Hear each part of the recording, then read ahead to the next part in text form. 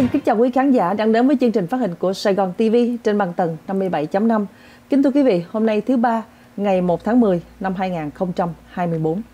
Chương trình tin tức của chúng tôi hôm nay sẽ do Thanh Trúc và Lưu Mỹ Linh trình bày và sau đây là những bản tin chi tiết xin kính mời quý khán thính giả theo dõi.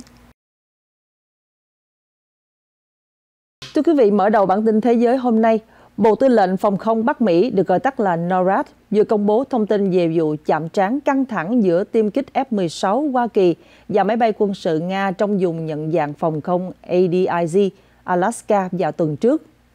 Theo video được Bộ Tư lệnh Phòng không Bắc Mỹ công bố, một tiêm kích Su-35S của Nga đã đột ngột giọt lên từ phía sau và tạt trước mũi chiếc F-16 đang giám sát quanh tạc cơ Tu-95MS Hành động này khiến cho phi công Mỹ bất ngờ và buộc phải chuyển hướng lùi ra xa.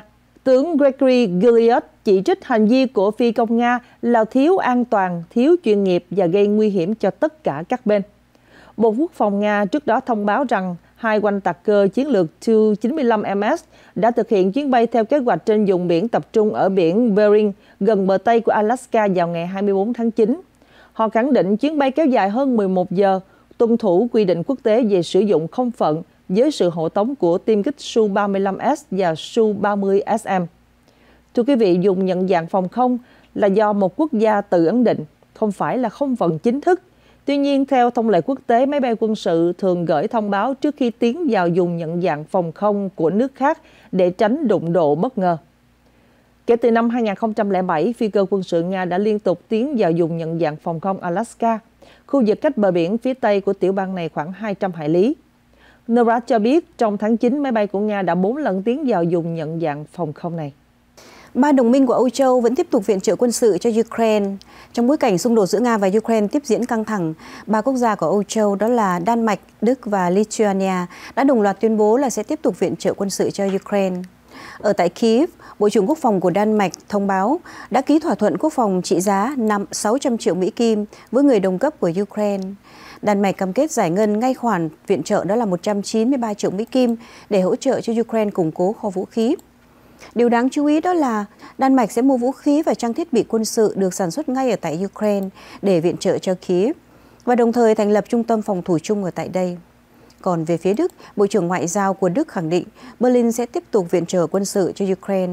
Mặc dù không ủng hộ việc cung cấp vũ khí tầm xa, nhưng Đức hiện nay vẫn là nhà tài trợ quân sự lớn hàng thứ hai cho Ukraine chỉ sau Hoa Kỳ. Trong khi đó, Lithuania thông báo một gói viện trợ quân sự mới, bao gồm có đạn dược, máy tính và vật tư hậu cần sẽ sớm đến tay Kiev. Từ đầu năm nay, Lithuania đã chuyển giao nhiều loại vũ khí và trang thiết bị quân sự cho Ukraine, bao gồm có đạn 155 ly, xe bọc thép, hệ thống chống máy bay không người lái và vũ khí chống tăng.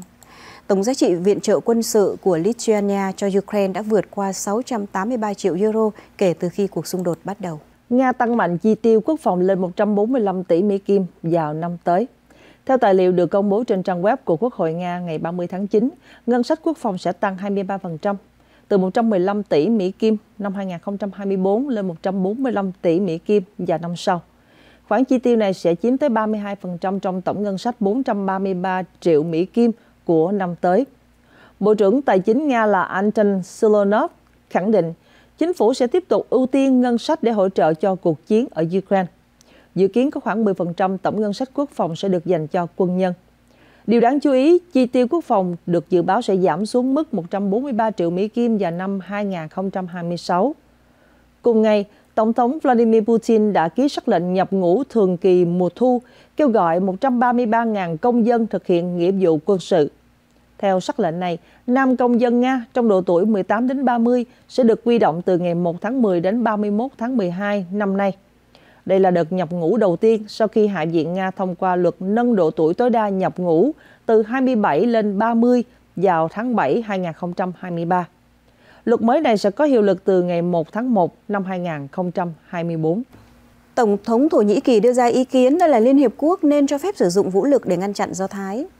Theo ông Erdogan, Đại hội đồng Liên Hiệp Quốc nên đề nghị sử dụng vũ lực phù hợp với nghị quyết đã thông qua vào thập niên 50. Nếu như Hội đồng Bảo an không thể ngăn chặn được các cuộc tấn công của Do Thái vào giải Gaza và lãnh thổ của Lebanon. Tổng thống Thổ Nhĩ Kỳ cũng bày tỏ sự thất vọng đối với phản ứng của các quốc gia Hồi giáo và ông kêu gọi họ phải có lập trường cứng rắn hơn đối với Do Thái. Ông thúc giục các nước này áp dụng những biện pháp kinh tế, ngoại giao và chính trị để gây sức ép, buộc Do Thái phải chấp nhận lệnh ngừng bắn. Bởi vì ông cho rằng các cuộc tấn công của Do Thái cũng sẽ nhắm vào các quốc gia Hồi giáo nếu như họ không bị ngăn chặn sớm. Thổ Nhĩ Kỳ là một thành viên của NATO, đã lên án mạnh mẽ chiến dịch quân sự của Do Thái ở giải Gaza, cũng như là các cuộc tấn công của Do Thái vào Hezbollah ở Lebanon. Ông Erdogan cho biết, gần có một triệu thường dân Lebanon phải di tản và ít nhất là 1.300 người đã thiệt mạng chỉ trong vòng hơn có một tuần qua.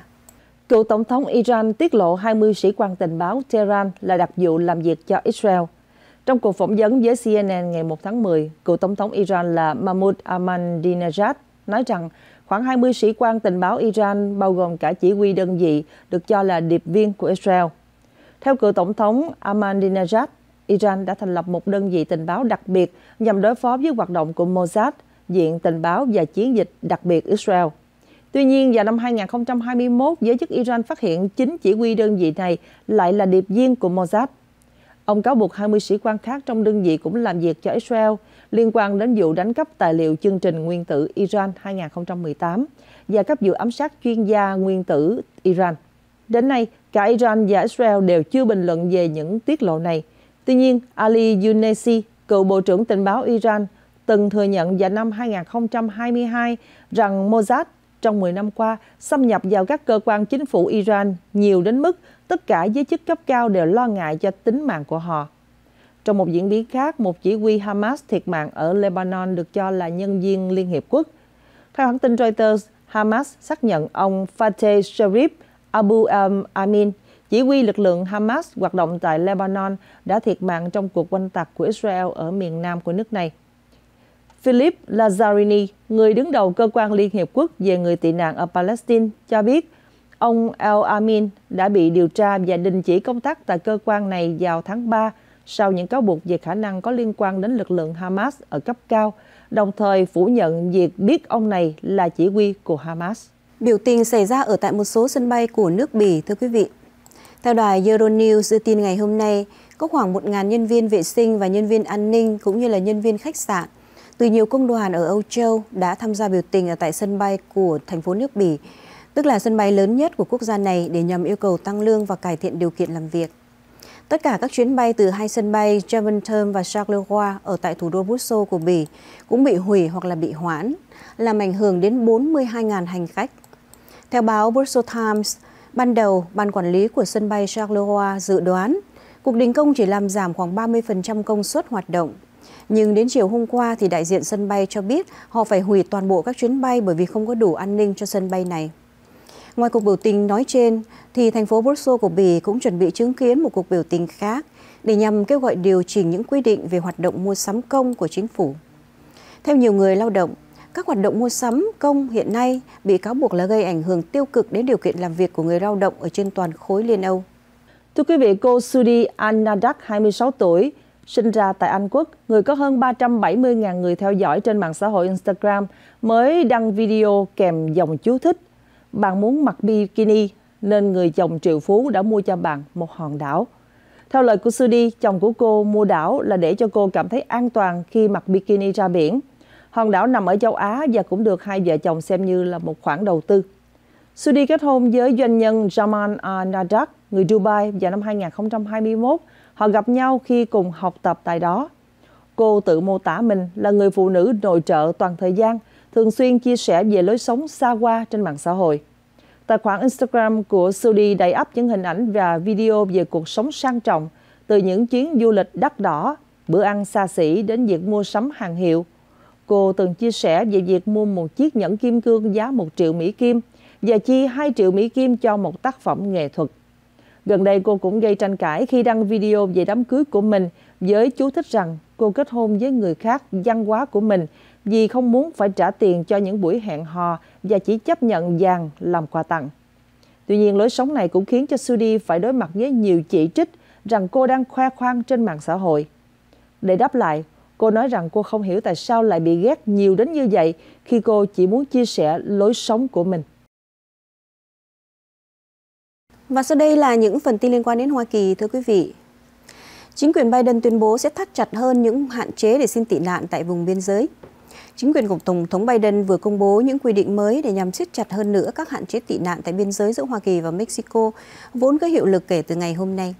Hành động này được xem như là một nỗ lực của Tòa Bạch Ốc để nhằm thể hiện lập trường cứng rắn về vấn đề an ninh biên giới trước thềm bầu cử. Theo quy định mới, các hạn chế tị nạn sẽ chỉ được dỡ bỏ khi số lượng di dân vượt biên vào Mỹ duy trì dưới 1.500 người mỗi ngày trong gần một tháng, thay vì là một tuần như là quy định trước đó. Đồng thời, chính quyền sẽ tính cả trẻ em vào con số này, không chỉ giới hạn ở trẻ em di cư từ Mexico.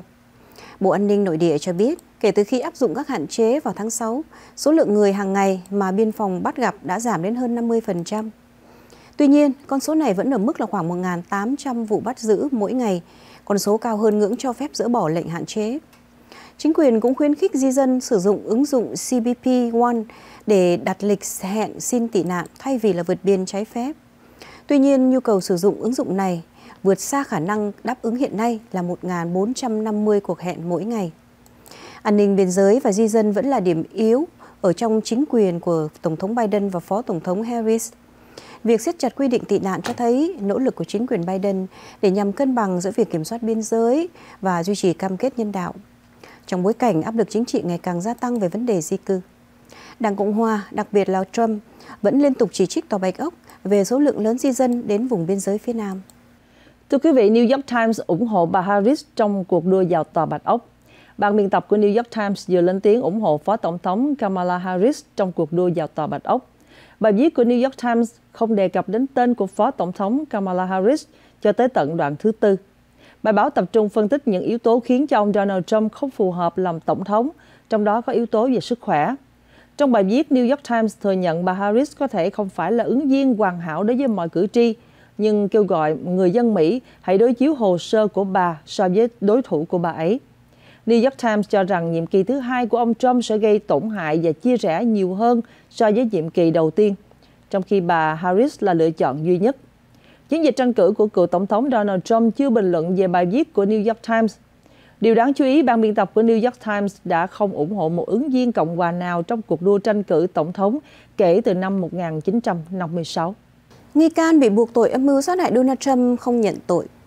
Ngày hôm qua, Ryan Ruth, 58 tuổi, người bị cáo buộc mưu toan ám sát cựu Tổng thống Trump ở tại sân golf ở Florida, đã không nhận tội trước tòa án liên bang. Theo công tố viên, ông Ruth bị phát hiện với một khẩu súng trường khi đang ẩn nấp trong bụi rậm ở gần sân golf ở West Palm Beach vào đầu tháng này. Một nhân viên mật vụ đã nhìn thấy nòng súng của ông Ruth xuyên qua hàng rào và đã nổ súng khiến cho nghi phạm bỏ chạy.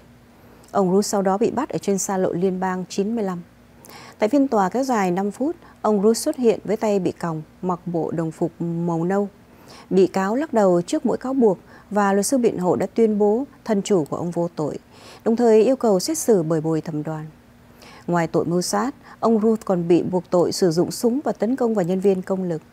Nếu bị kết tội, ông ta có phải có thể sẽ phải đối mặt với án tù trung thân về tội danh ám sát. Hồ sơ tòa án tiết lộ rằng vài tháng trước vụ việc, ông Ruth đã viết một bức thư cho thế giới dự đoán khả năng thất bại trong âm mưu ám sát Donald Trump. Bức thư còn đề cập đến việc thưởng tiền cho người có thể hoàn thành vụ ám sát. Ông Ruth có tiền án về tội danh liên quan đến súng, bao gồm việc sở hữu một khẩu súng máy tự động và bị cấm sở hữu súng. FBI sẽ chi trả 22,6 triệu Mỹ Kim dàn xếp vụ kiện phân biệt đối xử giới tính. Theo hồ sơ tòa án vừa công bố, Bộ Tư pháp Hoa Kỳ đã thỏa thuận chi trả 22.6 triệu Mỹ Kim để dàn xếp một vụ kiện từ 34 nữ nhân viên thực tập. Các nguyên đơn tố cáo rằng họ đã bị sa thải không công bằng khỏi chương trình đào tạo đặc vụ FBI vì lý do giới tính. Nếu được thẩm phán liên bang tại Washington DC phê chuẩn, thỏa thuận này sẽ giải quyết vụ kiện tập thể từ năm 2019. Vụ kiện cáo buộc FBI có thông lệ rộng rãi về việc buộc nữ nhân viên thực tập rời khỏi chương trình bất chấp họ có thành tích tốt ngang bằng hoặc thậm chí vượt trội hơn các nam giới trong các bài kiểm tra học thuật, thể lực và sử dụng vũ khí. Ngoài khoản bồi thường, thỏa thuận còn đề nghị cho phép các thành viên đủ điều kiện trong vụ kiện có cơ hội quay lại chương trình huấn luyện đặc vụ. Thưa quý vị, FBI cũng sẽ thuê chuyên gia bên ngoài để bảo đảm quy trình đánh giá thực tập sinh của họ là công bằng. Christine Wapper, luật sư đại diện cho các nguyên đơn nhận định thỏa thuận này phản ánh ý muốn chân thành của FBI trong việc lật sang một trang mới, thoát khỏi quá khứ phân biệt đối xử trong việc huấn luyện đặc vụ mới. Một báo cáo từ cơ quan giám sát nội bộ của Bộ Tư pháp năm 2022 đã chỉ ra rằng các nữ thực tập sinh FBI có khả năng bị sa thải cao hơn so với nam giới. Cũng theo số liệu của FBI công bố vào tháng 4, chưa đến một phần tư số đặc vụ của cơ quan này là phụ nữ. Liên quan đến cơn bão Helen, thưa quý vị, Helen là một trong những cơn bão tồi tệ nhất trong lịch sử của nước Mỹ. Cơn bão này đã tàn phá đến 6 tiểu bang miền Đông Nam, gây ra thiệt hại nặng nề về người và của. Theo thống kê mới nhất từ AP, ít nhất 133 người đã chết, trong khi 600 người khác vẫn còn mất tích. Miền Bắc Carolina là tiểu bang phải chịu thiệt hại nặng nề nhất với 56 người chết. Thống đốc Brian Kemp của Georgia cũng xác nhận là số người chết ở tại tiểu bang của ông đã tăng từ 17 lên đến là 25 người. Cố vấn an ninh nội địa là Lee Sherwood Randall bày tỏ sự lo ngại rằng nhiều người trong số 600 người mất tích có thể đã không qua khỏi. Các nỗ lực cứu nạn đang gặp khó khăn do đường xá và hạ tầng cơ sở bị phá hủy, cùng với tình trạng ngập lụt trên bình diện rộng. Thị trưởng Esther Mahenmer của thành phố Asheville, phía bắc của Carolina cảnh báo rằng số thương vong có thể tiếp tục gia tăng. Nhân chứng kể lại cảnh tượng kinh hoàng khi thấy nhiều ngôi nhà có người bên trong bị nước lũ cuốn trôi. Tổng thống Joe Biden dự kiến sẽ đến thăm North Carolina vào ngày mai và ông đã phê chuẩn các gói cứu trợ thiên tai. Chính phủ liên bang cam kết sẽ hỗ trợ những cư dân bị ảnh hưởng ở miền đông nam nước Mỹ. Bão Helen đổ bộ vào Florida tuần trước với sức gió lên đến 255 cây số giờ. Sau đó quét qua nhiều tiểu bang khác, gây ra mưa lớn và lũ lụt lịch sử. Hiện nay có hơn 2 triệu người dân đang sống trong hoàn cảnh thiếu điện, trong khi hàng trăm tuyến đường đã bị hư hại, gây ra gián đoạn giao thông nghiêm trọng. Có thời điểm có đến 400 tuyến đường ở tại Bắc Carolina không thể di chuyển được. Một người cha đã đi bộ 48 cây số sau cơn bão Helen để kịp dắt con gái vào lễ đường. Đó là David Jones, 64 tuổi, đã thực hiện một hành trình phi thường để kịp dự đám cưới của con gái giữa cơn bão Helen tàn phá. Ông đã lái xe 7 tiếng đồng hồ, sau đó đi bộ hơn 5 tiếng qua 48 cây số đường ngập lụt và đầy chướng ngại để đến nơi đúng giờ. Hành trình bắt đầu từ Nam Carolina vào ngày 27 tháng 9. Thông thường chuyến đi đến Johnson City, Tennessee chỉ mất khoảng 2 tiếng lái xe. Tuy nhiên do ảnh hưởng của cơn bão, ông Jones mất tới 7 giờ lái xe trước khi bị cảnh sát chặn lại trên xa lộ liên bang 26. Lúc 2 giờ sáng ngày 28 tháng 9, Jones quyết định đi bộ quãng đường còn lại để đến đám cưới của con gái diễn ra lúc 11 giờ. Ông phải đối mặt với bóng tối, bùng lầy, rác rưởi, hàng rào đổ nát, cây cối gãy đổ chắn ngang đường. Có lúc John suýt bị một máy xúc dọn đường va trúng khi đang bị mắc kẹt trong bùn. Băng qua sông trên cầu cao tốc Jackson Love đi qua thị trấn Irwin và quay lại xa lộ 26, ông đã kịp đến lễ cưới của con gái sau 5 tiếng rưỡi đi bộ không ngừng nghỉ. Elizabeth McKay, con gái của ông John, chỉ biết được câu chuyện phi thường của cha mình sau đám cưới. Ông John khiêm tốn nói rằng ông chỉ làm việc người bố nào cũng phải làm. Nhưng đối với Elizabeth, ông là một người hùng đích thực. Hoa Kỳ viện trợ bổ sung hơn 300 triệu Mỹ Kim cho giải Gaza và bờ Tây. Cơ quan Phát triển Quốc tế Hoa Kỳ, tức là USAID, vừa thông báo một khoản viện trợ bổ sung trị giá 336 triệu Mỹ Kim dành cho người dân Palestine ở tại Gaza và bờ Tây. Thông tin này được công bố giữa lúc tình hình nhân đạo ở tại khu vực ngày càng trở nên trầm trọng. Theo tuyên bố của cơ quan phát triển USAID, nguồn tài trợ này sẽ hỗ trợ cho các đối tác của cơ quan này tiếp tục cung cấp gói viện trợ nhân đạo gồm có lương thực, chăm sóc y tế, dinh dưỡng và các dịch vụ thiết yếu khác. Ngoài ra, khoản tiền cũng sẽ được sử dụng để cung cấp nơi tạm trú khẩn cấp cho những người di tản ở tại Gaza trước mùa đông sắp tới. Youssef cho biết, trong năm qua, xung đột đã cướp đi sinh mạng của nhiều thường dân vô tội Palestine và cả Do Thái, và đồng thời đẩy giải Gaza và phía bờ Tây vào trong tình trạng khủng hoảng nhân đạo nghiêm trọng. Chính phủ Hoa Kỳ tiếp tục kêu gọi các bên liên quan đồng ý ngừng bắn, thả con tin ngay lập tức và cho phép mở rộng quy mô viện trợ nhân đạo trên toàn Gaza.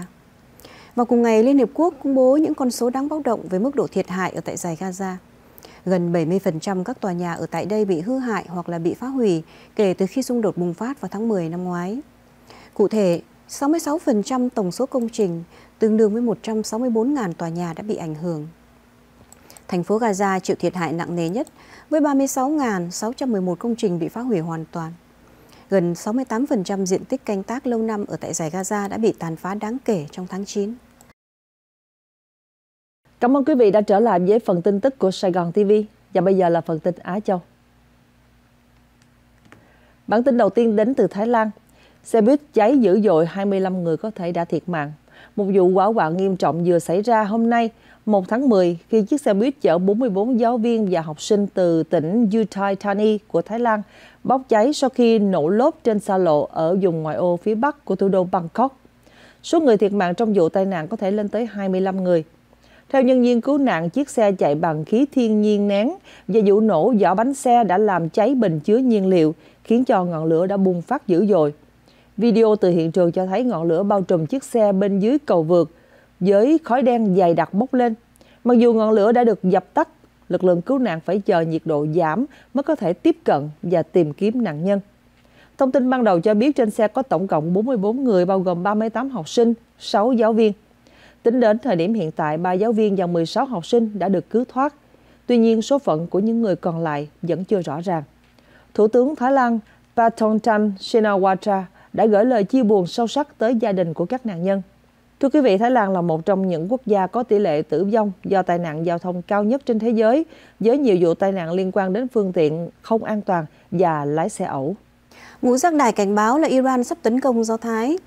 Ngũ giác đài cảnh báo khả năng Iran có thể tấn công vào Do Thái sau vụ thủ lĩnh Hezbollah là Hassan Nasrallah bị tiêu diệt vào tuần trước. Phó phát ngôn viên của Bộ Quốc phòng là Sabrina Singh vừa cho biết không loại trừ khả năng Iran quyết định đáp trả Do Thái. Ngoài ra, các nhóm vũ trang ở Iraq và Syria hoặc là Hezbollah cũng có thể có phản ứng.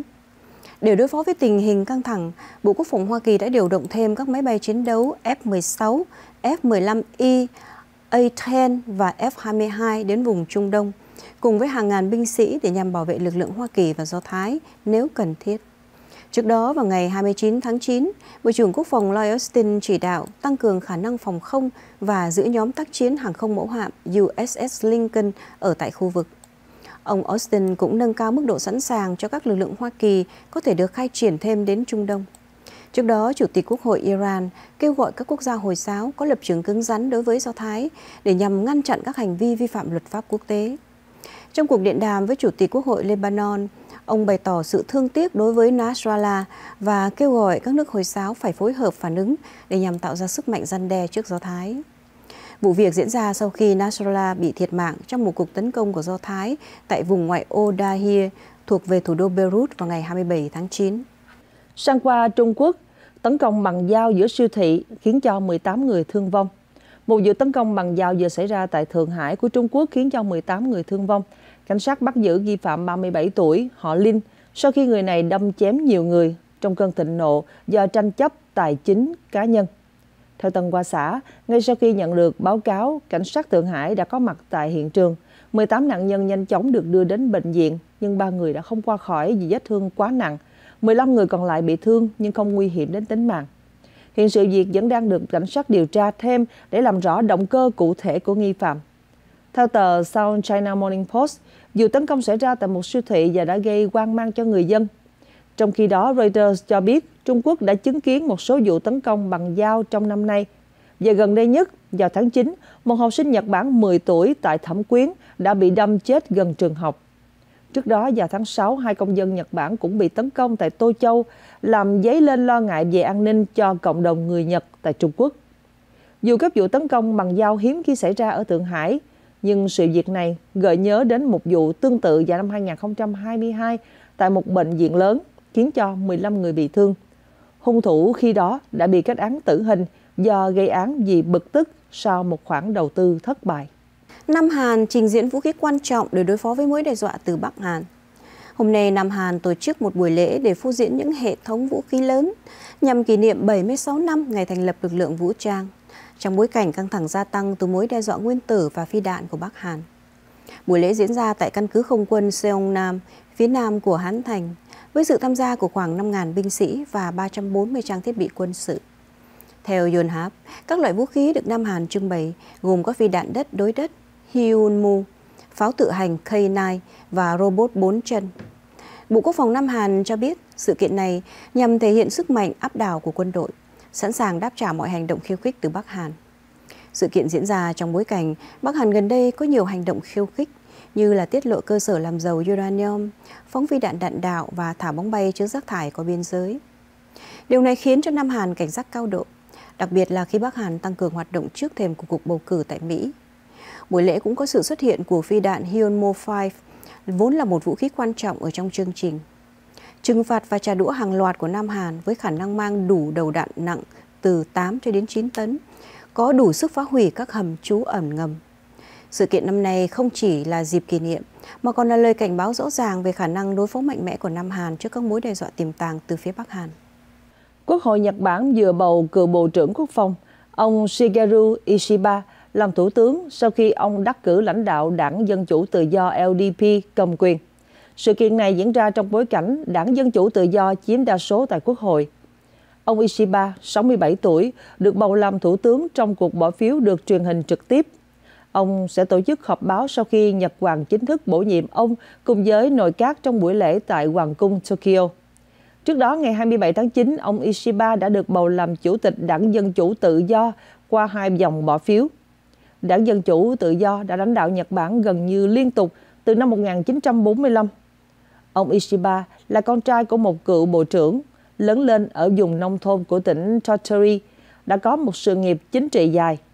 Ông gia nhập Quốc hội vào năm 1986 khi 29 tuổi, giữ nhiều chức vụ quan trọng, bao gồm Tổng thư ký Đảng Dân Chủ Tự do, Bộ trưởng Nông nghiệp và Bộ trưởng Quốc phòng. Dù từng tranh cử Thủ tướng 4 lần, nhưng ông Ishiba chưa một lần thành công. Trong đó có thất bại trước ông Shinzo Abe vào năm 2012. Ông ủng hộ một số chính sách tiến bộ xã hội như cho phép các cặp vợ chồng sử dụng họ riêng, nhưng gặp phải sự phản đối từ các dân biểu bảo thủ. Thưa quý vị, tân Thủ tướng Nhật Bản nhậm chức trong bối cảnh người dân bất mãn với tình hình thu nhập giảm, chi phí sinh hoạt tăng cao. Ông kêu gọi hợp tác để khôi phục sự an toàn và hạnh phúc cho mọi người dân. Sự chú ý cũng sẽ được hướng tới cách tiếp cận của ông đối với Mỹ khi ông đã nhiều lần kêu gọi một mối quan hệ cân bằng hơn. Cuộc thăm dò gần đây cho thấy hơn 30% người dân ủng hộ đảng Dân Chủ Tự do và nhiều người bày tỏ lạc quan về sự lãnh đạo của ông Ishiba. Đài Loan huy động gần 40.000 binh sĩ để ứng phó với siêu bão Kraton. Đài Loan vừa huy động gần 40.000 binh sĩ để tăng cường nỗ lực cứu nạn khi siêu bão Kraton đang tiến gần đến bờ biển phía tây nam của hòn đảo này. Cơ quan quản lý thời tiết trung tâm dự báo cơn bão Kraton sẽ ập vào thành phố cảng Cao Hùng vào sáng ngày mai, sau đó sẽ di chuyển qua miền Trung của Đài Loan và ra biển Hoa Đông. Thành phố Cao Hùng với dân số khoảng 2.7 triệu người đã ra quyết định nghỉ một ngày và yêu cầu người dân ở nhà khi cơn bão đến gần. Trung tâm Cảnh báo bão chung của Hải quân Hoa Kỳ đã phân loại Kraton là một siêu bão và theo các nhà dự báo, cơn bão này đã đạt cường độ tối đa, có thể gây ra gió giật lên đến hơn 150 cây số giờ tại khu vực phía tây nam. Giới chức của thành phố Cao Hùng nhận định cơn bão Kraton mạnh không kém so với cơn bão Thelma vào năm 1977, vốn là cơn bão đã gây ra thiệt hại nghiêm trọng với 37 người chết. Giới chức của thành phố khuyến cáo người dân nên tránh đi đến bờ biển, miền núi hoặc là gần sông và không ra ngoài nếu không cần thiết. Ở tại Cao Hùng, nhiều cửa tiệm và nhà hàng đã đóng cửa, trong khi đường phố trở nên vắng tanh. Cơ quan phòng vệ Đài Loan thông báo đã đưa hơn 38.000 thành viên vào trong tình trạng sẵn sàng. Ngoài ra, cơ quan hữu trách đã điều động tàu để giải cứu 19 thủy thủ đoàn trên một con tàu chở hàng mang tên là Blue Lagoon, buộc phải bỏ con tàu này do bị nước tràn vào buồng máy. Con tàu này đang trên đường hành trình từ một cảng của Trung Quốc đến Singapore. Cơ quan Giao thông Vận tải Đài Loan cho biết đã hủy 85 chuyến bay nội địa và 9 chuyến bay quốc tế vào ngày mai. Tuyến đường sắt nối miền Nam với miền Đông của Đài Loan đã phải tạm ngừng hoạt động, trong khi tuyến cao tốc Bắc Nam thì vẫn hoạt động bình thường. Cơn bão Kraton còn được gọi là siêu bão Julian ở tại Philippines đã rời khỏi khu vực chịu trách nhiệm theo dõi của Philippines. Tuy nhiên, cơ quan thời tiết của nước này cảnh báo bão có thể trở lại vào sáng hoặc là chiều ngày mai. Tổng cộng có 77.249 người ở Philippines bị ảnh hưởng do cơn bão này. Nhiều lớp học và lịch làm việc cũng đã bị tạm ngừng. Quay trở lại Trung Quốc, thưa quý vị, Trung Quốc chiết xuất nguyên liệu sản xuất pin xe điện từ nước biển. Các nhà khoa học Trung Quốc vừa khiến thế giới phải bất ngờ với phát hiện mới chiết xuất lithium từ nước biển, một nguyên liệu quan trọng trong sản xuất pin xe điện. Phương pháp này hứa hẹn vừa sạch vừa rẻ, giúp giảm thiểu tác động môi trường so với khai thác lithium từ quặng đá cứng và nước muối tự nhiên. Theo nghiên cứu công bố trên tạp chí Science, nhóm các nhà nghiên cứu từ Đại học Nam Kinh và Đại học California Berkeley do Juzia dẫn đầu đã phát triển thiết bị chiết xuất lithium sử dụng năng lượng mặt trời. Công nghệ này gồm bộ thoát hơi nước, lớp lưu trữ lithium và màng lọc nano giúp tách lithium khỏi nước biển mà không cần thêm năng lượng ngoài năng lượng mặt trời. Thưa quý vị, chiết xuất lithium từ nước biển là một công nghệ tiềm năng bởi nước biển chứa lượng lithium khổng lồ, ước tính khoảng 230 tỷ tấn. Tuy nhiên, thách thức lớn nhất là sự hiện diện của các nguyên tố khác như magi, canxi và natri, khiến cho quá trình chiết, tách trở nên phức tạp và tốn kém. Trước đây, chi phí chiết xuất lithium từ nước biển cao hơn 10 lần so với phương pháp thông thường. Phương pháp mới sử dụng màng oxit nhôm và vật liệu gốm xốp để tách lithium khỏi các ion không mong muốn, giảm đáng kể chi phí và nâng cao hiệu quả. Thiết bị sử dụng năng lượng mặt trời hoạt động thụ động, không cần đầu vào năng lượng bổ sung và có thể kết hợp với các ao lọc nước bốc hơi sẵn có. Ngoài ra, một nghiên cứu khác của Đại học Ả Rập Saudi đã thành công trong việc chiết xuất lithium từ nước muối biển chết bằng cách sử dụng các tế bào điện hóa với tỷ lệ thu thập lithium vượt 80%. Mặc dù vẫn cần đánh giá thêm về hiệu quả kinh tế, nhưng các công nghệ này đang mở ra một tiềm năng lớn cho việc khai thác lithium từ nguồn nước biển dồi dào. Người cao niên Nhật Bản có thể làm việc cho đến 90 tuổi. Theo một khảo sát mới đây của một công ty dịch vụ mang tên là Wellness, có 70% người cao niên Nhật Bản tin rằng họ có thể tiếp tục làm việc cho đến tuổi 80 và thậm chí là 90 tuổi. Cuộc khảo sát thu hút sự tham gia của hàng ngàn người cao niên đang tìm việc ở tại Nhật với độ tuổi trung bình là 70 tuổi. Wellness là một công ty dịch vụ và điều phối quản lý các căn chung cư lớn, cho biết rằng có khoảng 3.240 người đã ghi danh tìm việc qua công ty này. Kết quả khảo sát chỉ ra rằng nhiều người bắt đầu đi làm sau khi nghỉ hưu vì lý do là vẫn còn sức khỏe tốt và cần phải trang trải chi phí sinh hoạt hoặc là hóa đơn y tế cao. Một số người cho biết họ muốn tham gia xã hội để tránh cảm giác nhàm chán khi ở nhà. Khi được hỏi rằng các ông bà nghĩ rằng mình có thể làm việc đến độ tuổi nào thì có hơn 50% trả lời từ 70 đến 79 tuổi.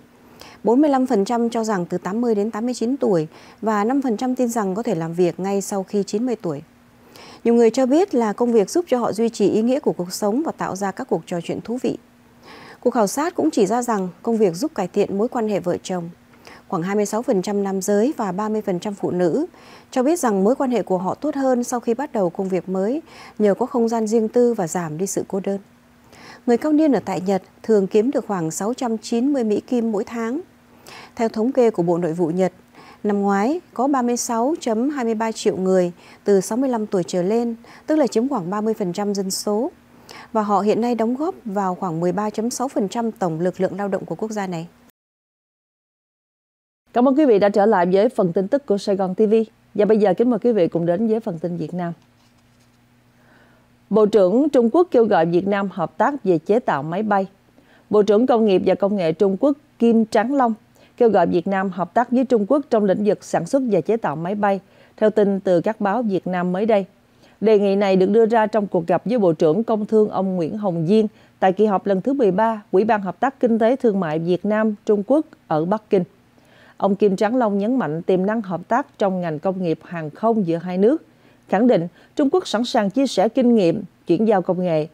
Ông cũng đề cập đến trạm không gian của Trung Quốc mời Việt Nam tham gia sau khi Thái Lan đã có mặt trong dự án này. Việt Nam gần đây đã trở thành điểm đến cho các hãng sản xuất linh kiện máy bay phục vụ Boeing và Airbus. Tại Đà Nẵng, nhà máy KP Vina đang được xây dựng để sản xuất linh kiện cho Boeing 787 và 737 MAX. Ngoài ra, dự án trị giá 170 triệu Mỹ Kim của Universal Alloy Corporation Asia cũng đã hoạt động tại đây từ năm 2019, chế tạo các bộ phận cho Boeing. Mặc dù phía Trung Quốc chưa rõ muốn Việt Nam tham gia vào phần nào của việc sản xuất máy bay, Bộ trưởng Nguyễn Hồng Diên cho biết Việt Nam mong muốn tăng cường hợp tác với Trung Quốc trong các lĩnh vực như công nghiệp xe hơi, chế biến thực phẩm và khai khoáng. Thưa quý vị, Trung Quốc đã quảng bá các máy bay tự chế tạo như C-919 và ARJ-21 tại Việt Nam. Nhưng cho đến nay, Việt Nam Airlines có sử dụng dòng máy bay C-919 vẫn chưa được xác nhận. Một cựu chủ tịch huyện của tỉnh Thanh Hóa bị bắt bởi vì sai phạm quản lý đất đai. Cơ quan an ninh điều tra công an của Thanh Hóa vừa ra quyết định khởi tố và bắt giam ông Trần Văn Công là cựu chủ tịch của huyện Quảng Sương cùng với bốn người khác do có sai phạm trong việc quản lý đất đai trong thời gian mà ông này đương nhiệm. Nhóm bị can này bị cáo buộc là đã ký hồ sơ giao đất trái với thẩm quyền ở tại xã Quảng Chính – Theo thông tin ban đầu, các sai phạm liên quan đến việc quản lý đất đai trong thời gian ông Công làm chủ tịch huyện này.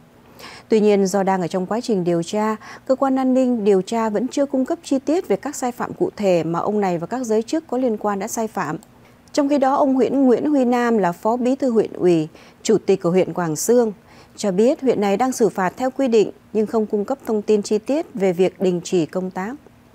Trần Văn Công giữ chức chủ tịch của huyện Quảng Sương nhiệm kỳ 2016 đến 2021. Sau khi bị miễn nhiệm vào tháng 5 năm 2019, ông được điều động nhưng không giữ chức vụ theo quy định.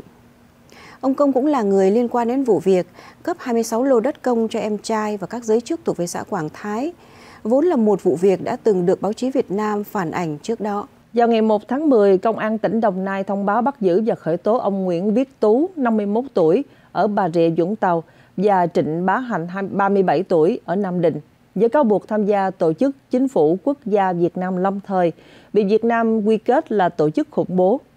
Cơ quan an ninh điều tra cho biết hai người này bị bắt vì sở hữu hàng trăm lá cờ của Việt Nam Cộng Hòa trong dịp lễ Quốc khánh 2 tháng 9, với cáo buộc có ý đồ khủng bố.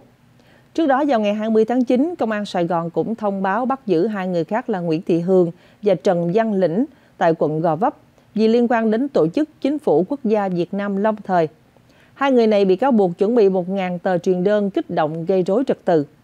Trong thời gian qua, nhiều người bị cáo buộc liên quan đến tổ chức này đã bị bắt giữ. Và vào ngày 29-30 tháng 8, hai người khác tại Nam Định, Hậu Giang cũng bị bắt với tội danh tương tự.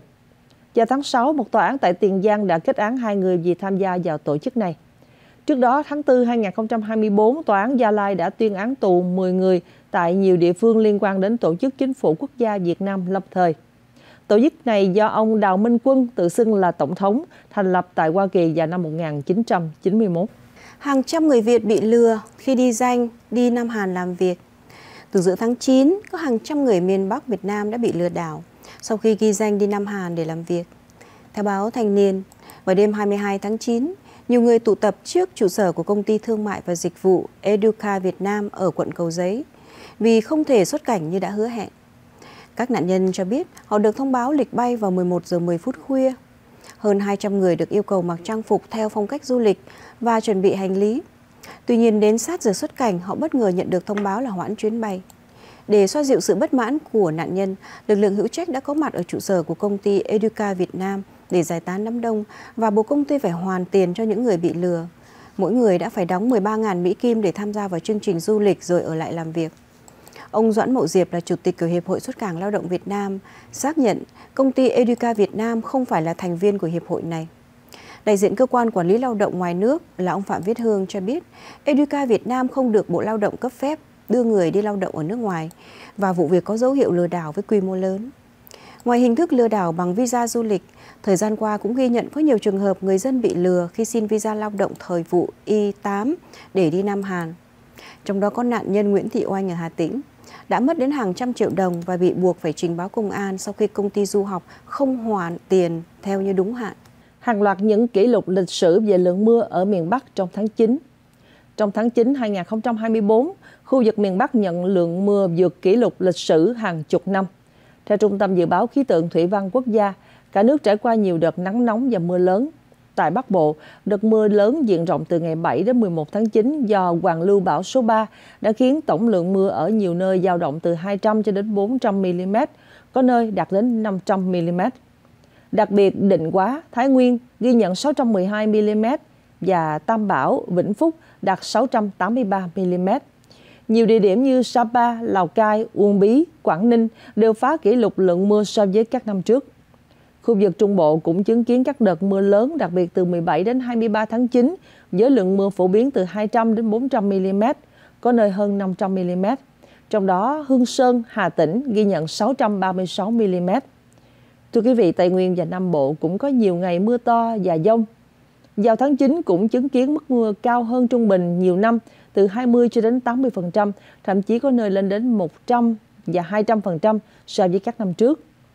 Các trạm quan trắc trên cả nước đã ghi nhận 40 kỷ lục về lượng mưa trong tháng này.